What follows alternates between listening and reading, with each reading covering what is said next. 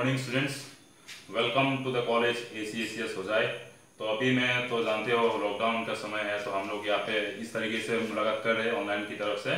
Virtually मुलाकात कर रहे हैं राइट सो मैं किसी दोस्त का घर पे आया हूँ यहाँ पे रिकॉर्डिंग के लिए। तो फ़र्स्ट ऑफ़ ऑल देखो students welcome to this college मैं आप लोग को यहाँ पे वेलकम बोल रहा हूँ। सीबी मेरे तरफ़ से नहीं, पूरा कॉमर्स स्ट्रीम पूरे कॉलेज की, पूरे मैनेजमेंट की तरफ़ से आप लोग को वेलकम ठीक है students first of all I want to say you are very lucky that you have taken admission into this college इस कॉलेज का अगर आप देखोगे तो बेस्ट से बेस्ट फैकल्टीज है.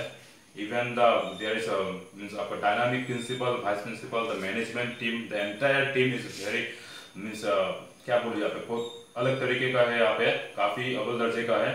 ऑलराइट तो फ़र्स्ट ऑफ़ ऑल स्टूडेंट्स देखो you are you are mostly introduce to all the all the teachers of your commerce stream probably Uh, so myself Prashant Sutradhar and I will be teaching you commercial mathematics and statistics, right? So um, you, I hope you have gone through the audio I have already given a few days back uh, in the WhatsApp group. So students, um, so let's come to the topic now. So commercial mathematics and uh, statistics, right? So guys, you must be wondering, आप लोग सोच रहे होगे ये subject जो है आपके लिए समथिंग न्यू समथिंग डिफरेंट और समथिंग डिफ़िकल्ट राइट बहुत डिफ़िकल्ट सब्जेक्ट ऐसा कुछ है, जैसे आप लोग में से किसी ने बोला भी था, जैसे बहुत डिफ़िकल्ट सब्जेक्ट है राइट लेकिन आपका जो परसेप्शन है, जो आपका थिंकिंग है, वो क्या है? वो ट्रू नहीं है राइट क्यों नहीं है? देखो, ये कॉमर्शियल मैथमेटिक्स अभी मैथमेटिक्स जो है, आप लोग को क्लास वन या टू से पढ़ के आए हो राइट और यहाँ पे जो आप जो कुछ मैथ सीखने वाले हो, ये कोई एडवांस लेवल का मैथ नहीं है, ये साइंस वाला मैथ नहीं है, ये जस्ट मैथ्स है कॉमर्शियल मैथ्स तो कॉमर्शियल मैथमेटिक्स नाम क्यों है इसका? कॉमर्शियल मैथमेटिक्स नाम इसीलिए है बिकॉज़ ये मैथ्स आपको कॉमर्स पे यूज़ उसको ज़रूरत पड़ने वाला है। ठीक है? अगर आप सोचते हो, ये सब्जेक्ट लेके आप पछता रहे हो, लेकिन ये आपका मिसकॉन्सेप्शन है, ये गलत है। क्यों?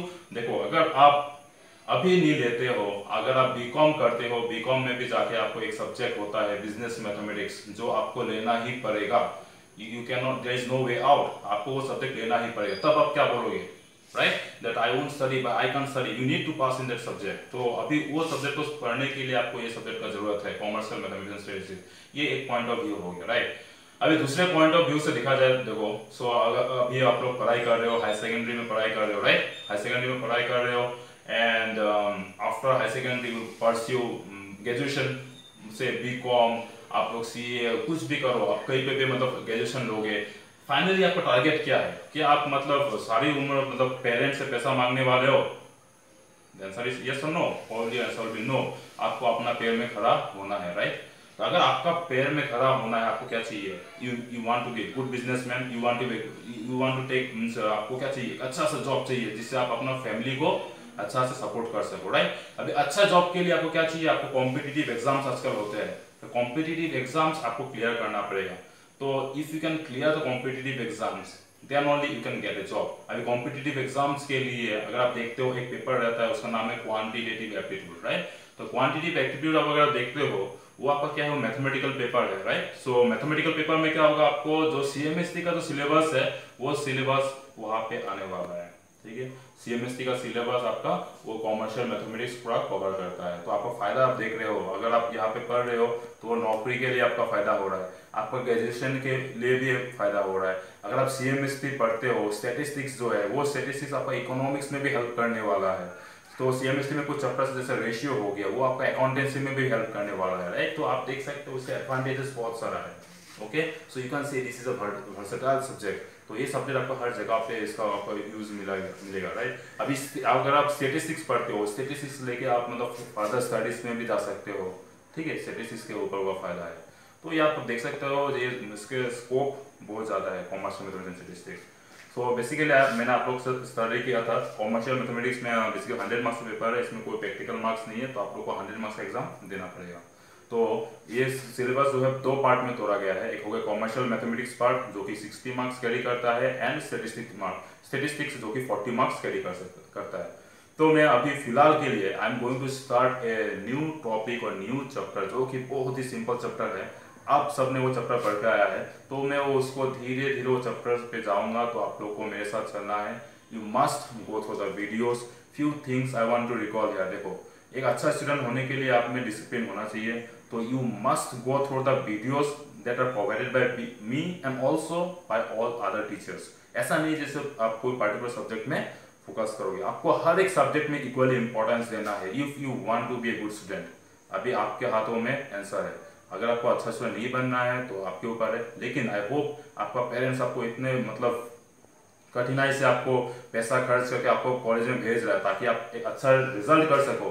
एक अच्छा आप सिटीजन बन सको right so obviously your dream must be to fulfil the dream of your parents right उसी के लिए क्या होगा? हम लोग को थोड़ा मेहनत करना है, आप लोग को वीडियो में से जाना है, आप लोग को टीचर लोग असाइनमेंट देंगे तो असाइनमेंट आप लोग को करना है टीचर को वापस असाइनमेंट सबमिट करना है।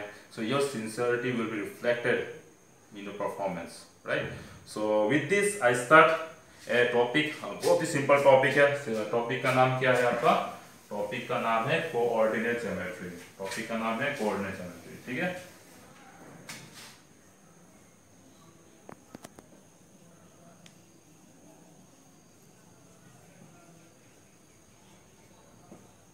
देखो कोऑर्डिनेट ज्योमेट्री तो ये जो टॉपिक है तो आपको दिखाई दे रहा है कोऑर्डिनेट ज्योमेट्री जो है, ये टॉपिक जो है ज्योमेट्री ज्योमेट्री सबको मालूम है, आप लोगों ने क्लास टेन तक पढ़ा है तो कोऑर्डिनेट ज्योमेट्री क्या है? तो इससे हम लोग को कोऑर्डिनेट का आइडिया मिलता है। कोऑर्डिनेट का मतलब क्या है? कोऑर्डिनेट का मतलब हो गया लोकेशन कोऑर्डिनेट का मतलब क्या है?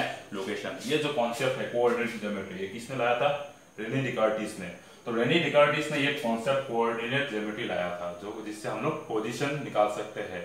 सपोज़ में एक दस्तर दिखाई दे रहा हो ये दस्तर जो है, इस रूम में उसका लोकेशन क्या है? ये रूम में उसका लोकेशन क्या है? कहाँ पे तो मैं कैसे लिखाऊं राइट और मैं इजी कर लू तो ये पकड़ लो, ये आपका बोर्ड दिखाई दे रहा है। अगर मैं बोलता एक पॉइंट यहाँ पे है तो इस पॉइंट का लोकेशन कहाँ पे है बोर्ड पे? तो आप कैसे बोलोगे? तो उसके लिए इसको आंसर करने के लिए मुझे इस चैप्टर का हेल्प चाहिए। That is your coordinate geometry coordinate geometry से हम लोग को लोकेशन मालूम चलता है। पर पकड़ लो, अभी एक पॉइंट है, मैं और एक दूसरा पॉइंट ले लिया हूँ। तो इन दोनों के बीच में डिस्टेंस कैसे मेजर करेंगे हम लोग? तो आप बोलोगे स्केल से मेजर कर लेंगे। ठीक है, अभी हमें अगर स्पेस में दो पॉइंट ले लेता हूँ ये आपका मतलब हो गया रास्ता, ये हो गया आपका पेन अभी इन लोग के बीच में डिस्टेंस कैसे निकालोगे? ये थ्री डायमेंशनल पे है राइट तो उस टाइम पे यू विल फेस कंफ्यूजन तो आप स्केल से डायरेक्टली मेजर नहीं कर सकते हो। तो coordinate geometry basically coordinate geometry basically आपका दो पार्ट में तोड़ा गया है। ठीक है? दो पार्ट में तोड़ा गया है।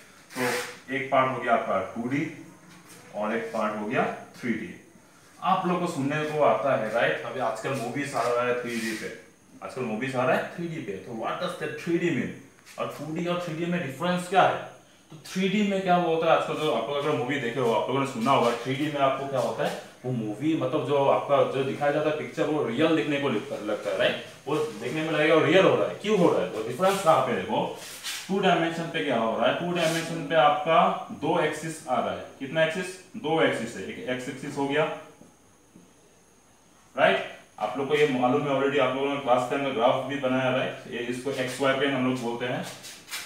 और थ्री डायमेंशन पे क्या हो जाता है? थ्री डायमेंशन में आपका तीन एक्सिस आ जाता है। कितना एक्सिस तीन axis X X dash Y Y dash and Z that is your इसको हम लोग थोड़ा एरो देके जेड कर देता है Z and that will your Z dash तो टू डायमेंशन में आपको दिखाई दो, देखो आप मतलब दो रहता है, इसमें दो एक्सिस एक्सेस बोलेंगे हम लोग ट्वेल्व में एंड थ्री डायमेंशन पे क्या होता है? Three axes three axes axis axis हो गया सिंगुलर जब भी हम लोग एक्सेस बोलेंगे ए एक्स ई एस तो ये हो जाएगा plural form this is the singular form alright तो तीन एक्सेस यहाँ पे रहता है X axis Y axis Z axis right तो इसमें क्या होता है? जैसे अभी आपको ये दिखाई दे रहा है, ये जो आपको दिखाई दे रहा है डस्टर, इसमें देखो तीन चीज़ है। पहला हो गया इसका लंबाई एक है, चौड़ाई एक है और इसका एक हाइट भी है। तो इसलिए वो ये ऑब्जेक्ट आपको थ्री डायमेंशन में होगा ओरिजिनल दिखाई दे रहा है।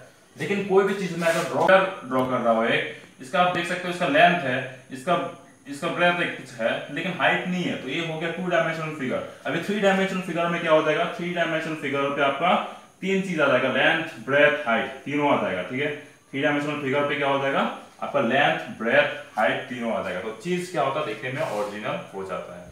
अभी for the time Bing 4D 5D तक चला गया। हम लोग का मैथ जो है 4D 5D NH तक चला गया। तो आपको उतना सोचना नहीं है। आप हम लोग का कॉन्सेप्ट अभी क्या करना है? सिर्फ़ 2D तक ही रखना है। हम लोग का सिलेबस किस पे है? हम लोग का सिलेबस टू डायमेंशन तक ही है। It is limited up to two dimension alright तो हम लोग को अभी थ्री डी हो फोर डी हो फाइव डी हो, उसके बारे में नहीं सोचना है। ठीक है? तो टू डी पे आते ही टू डी पे आते ही हम लोग so we shall forget about three D now ठीक है? थ्री डी के बारे में हम लोग डिस्कस नहीं करेंगे बिकॉज़ जबकि कोर्स पे नहीं है तो we shall try to limit the syllabus ठीक है? ओके नाउ टू डायमेंशन पे हम लोग आगे हैं।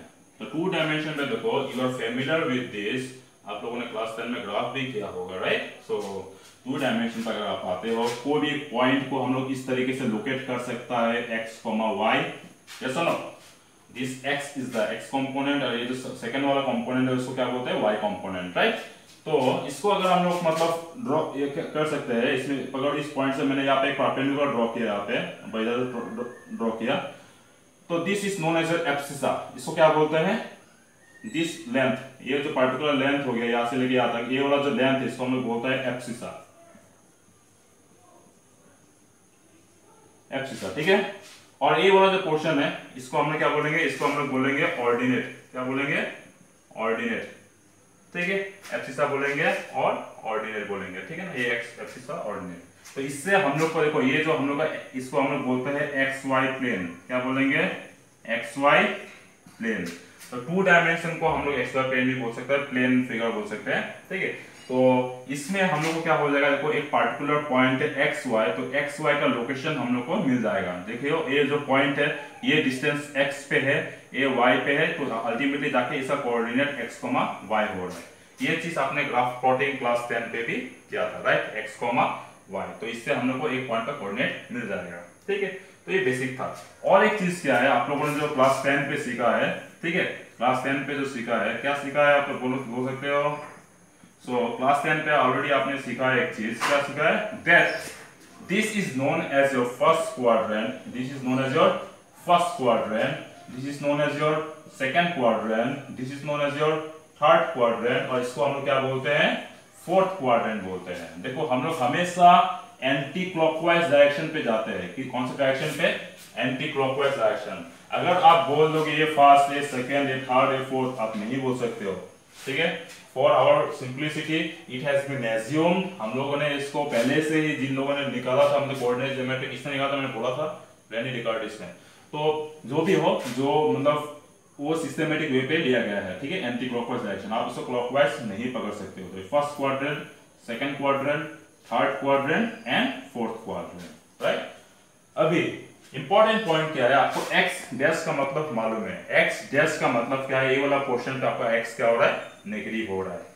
Y डैश y डैश मतलब y इज़ नेगेटिव तो ये पोर्शन में y नेगेटिव हो रहा है, ये पोर्शन पे x नेगेटिव हो रहा है। And these are what these are basically real number line ये सब क्या है? रियल नंबर लाइन है नंबर लाइन तो ओरिजिन जो है ओरिजिन का कोऑर्डिनेट देखो, बीच में ये ओरिजिन है तो ये एक्चुअली मिडिल पे है तो इसका कोऑर्डिनेट क्या होता है? ज़ीरो कोमा ज़ीरो देखो, अगर अभी मैं पॉइंट यहाँ पे लेता हूँ तो उसका गैप क्या होगा? हम लोग एक्स एक्सिस से दूरी कितना है?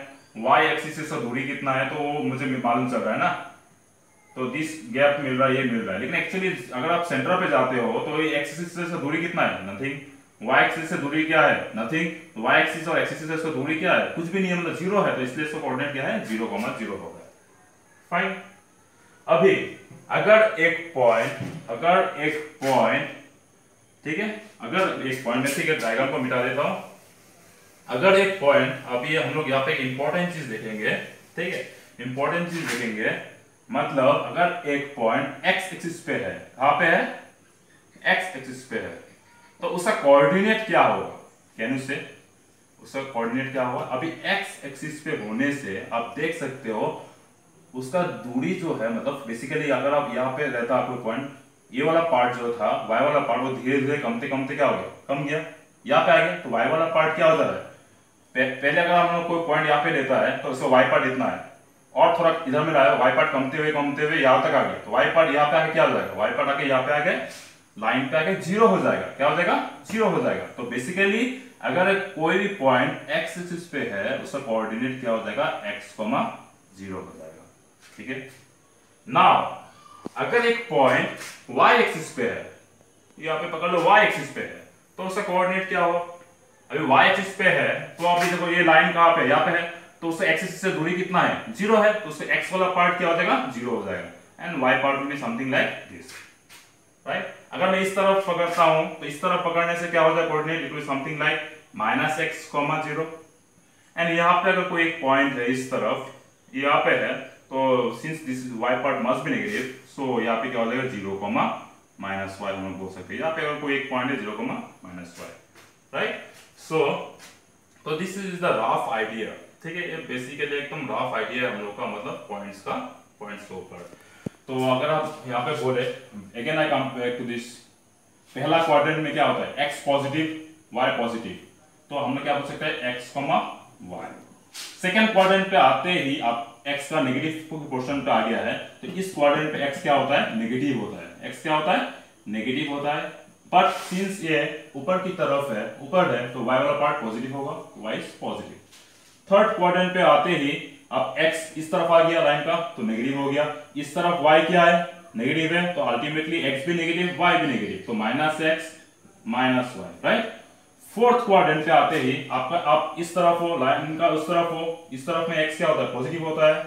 एंड नीचे की तरफ़ क्या होता है? Y नेगेटिव होता है. तो फोर्थ क्वाड्रेंट पे आते ही कोऑर्डिनेट क्या हो जाएगा? X is positive but y is negative right so basically if I say you एक पॉइंट है minus one comma say minus seven minus one comma minus seven तो कैन यू गेस एक कौन सा क्वाड्रेंट पे होगा? X is negative y negative दोनों ही नेगेटिव है. दोनों ही नेगेटिव कौन सा क्वाड्रेंट पे होगा? Third quadrant right so spontaneously at a fraction of second you must say third quadrant ठीक है? ऐसा क्वेश्चन आता है. फाइनल में भी आ चुका है. आप लोग को एक पॉइंट दिया रहेगा. आपको आइडेंटिफाई करना है जो कौन सा क्वाड्रेंट पे लाई करता है ठीक है? तो मतलब you should be very correct in saying that it lie in third quadrant fine okay so इतना था। Uh,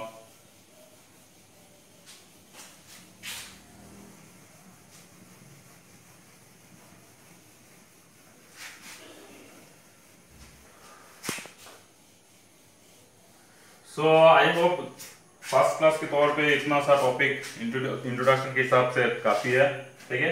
I will provide you the notes in details in photo so you go for the notes and please that's my request all of you maintain copy आप लोगों को दो copy maintain करना है सेमेस्ट्री के लिए, ठीक है? एक होगा क्लास कॉपी जो मैं क्लास पे जो कुछ कराऊँगा क्लास का मैं जो ऐसा मतलब बेसिकली जो नोट्स लिखूँगा, आपको फ़ोटो भेज दूँगा मैं तो आप लोग को क्या करना है, वो क्लास कॉपी पे लिखना है। और एक कॉपी आप लोग को बनाना है असाइनमेंट कॉपी व होमवर्क कॉपी बोल सकते हो। तो उस पर क्या करना है बेसिकली तो असाइनमेंट कॉपी पे आप लोग को असाइनमेंट लिख लेना है। ठीक है? असाइनमेंट कॉपी पे आप लोग को असाइनमेंट कर लेना है ताकि उससे आप मतलब सेपरेटली मेंटेन करना एंड क्लास कॉपी सेपरेट होगा। ठीक है? I hope you have like the class and any queries you can contact me in personal number please take care of yourself stay home stay safe. Um, with this i end the class. Thank you.